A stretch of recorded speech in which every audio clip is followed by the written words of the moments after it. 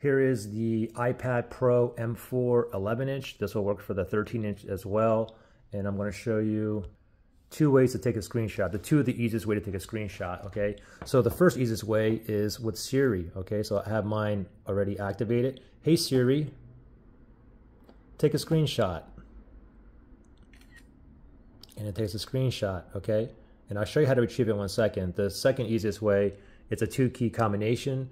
It's simply, let me just open up something. It's uh, it's going to be the power button and volume down, okay? So power button, volume down, you want to press both buttons at the same time just like that, okay? Now you don't want to press and hold both buttons. If you press and hold the power button and volume down, if you press and hold, then that's just going to bring off the power off menu here, okay? So again, screenshot is just power button, volume down, press both buttons at the same time, and let go quickly, okay?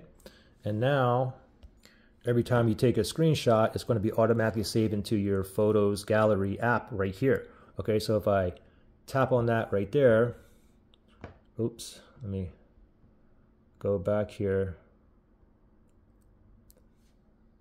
Okay, so if once you open the Photos app, if you tap if you tap on the top left hand side, that little blue icon right there, if you tap on that, now you can go down to your screenshots folder. Okay, you can see screenshots here, all your screen recordings here. So screenshots, tap on that right there, and you can see that last two screenshots we just took is right there. Okay, pretty simple.